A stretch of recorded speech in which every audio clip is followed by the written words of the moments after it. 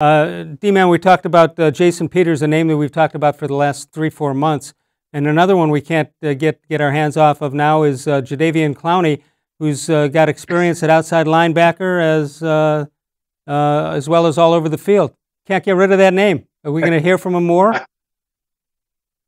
I don't know, Les. I, I'm clownied out, man. I mean, the guy, come on, sign somewhere.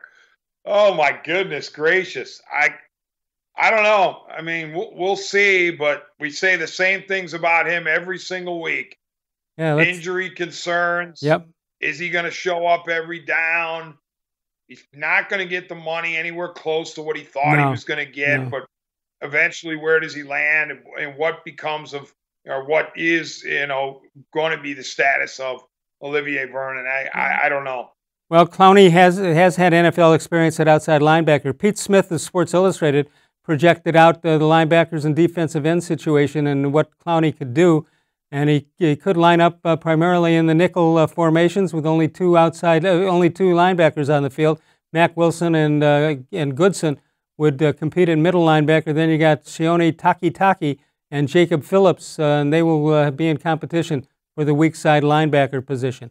It's it doesn't seem to me that the linebacker situation is very important to the Cleveland Browns. I could be wrong, here you have uh, Clowney at linebacker, possibly. Played uh, at Houston a couple of years at linebacker. Then he uh, threw, threw in more in Houston as a defensive end. And uh, 2019, he was a def- defensive end for that whole season. So uh, the Browns, if they do sign him, would have some choices. But uh, the injury situation seems seems to be a lot. Is bringing Clowney as a linebacker realistic? Because the linebackers are sort of weak.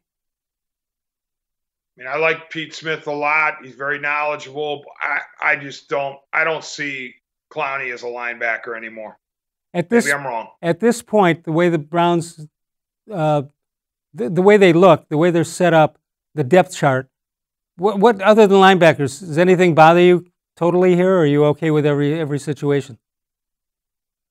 Well, I mean, I, I wouldn't say their front four defensively is is star studded and that's why you do have to at least entertain the thought of of a Clowney, perhaps. I mean, if they stick with Vernon, he's got to play better.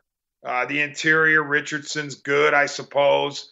Uh, Ogunjobi's good. I want to see them be better. I I'm greedy I, I, in that way. Um, the secondary, a little bit unproven, and um, you know, as you mentioned, the linebackers. But on the offensive side, again, I, I don't want to be hypocritical here because I just cracked people who are lauding the Browns, but it certainly looks like, based on the names, that the offense is uh, well fortified. Yeah. You know, your statement about Vernon is interesting because for a team that is relies so heavily on, on analytics, uh, that doesn't seem to be a, an analytic move to sign a guy like him and what he delivers for the, uh, the amount of money that he's getting. It just doesn't, doesn't seem to jibe right with me.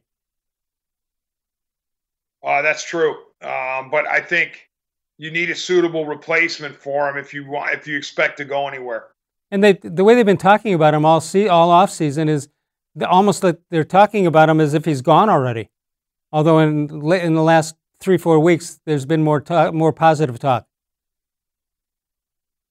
Yeah, I mean, I, I don't know. I, I wouldn't pretend to know uh, what's going on in turn, you know, in Olivier Vernon's head.